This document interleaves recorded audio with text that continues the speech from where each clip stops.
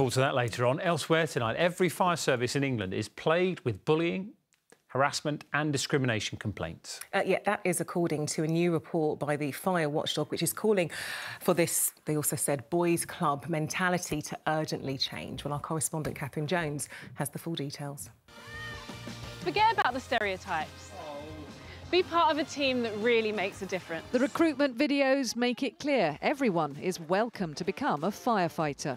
But a damning report, which names no specific fire service, has found evidence of bullying, harassment, and discrimination in all 44 services in England, and racism, sexism, and homophobia in a quarter of them. That's important because it links to trust. Firefighters can do a difficult job. Yet you need to trust your colleagues, and if that trust is undermined by derogatory behaviour, disguised as banter, and people don't feel able to challenge that, and there's no background checks, things need to change.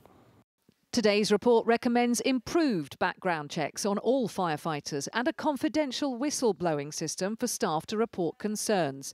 Misconduct cases must be handled better and the staff culture should be monitored by senior officers. However, it's senior officers the Fire Brigades Union blames for this problem. Why is it the case that when people make reports, they are not dealt with properly? That clearly is a managerial failure at the very top, and those people should be held to account for that. And that would actually indeed subsequently change the culture. And experts in bullying warn its impact could even undermine the teamwork that is so vital in this dangerous profession. Calling it banter as if it's unimportant when it's bound to be seeping more and more into people's bloodstream and making them feel an outsider, and as if they have to do something more than just be themselves and be a good fire officer to fit in uh, I mean, that will really undermine morale very, very deeply. And it is a worry when they all need to work together.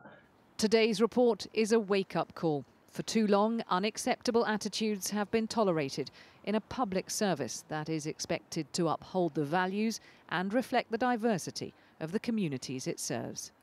Catherine Jones, 5 News.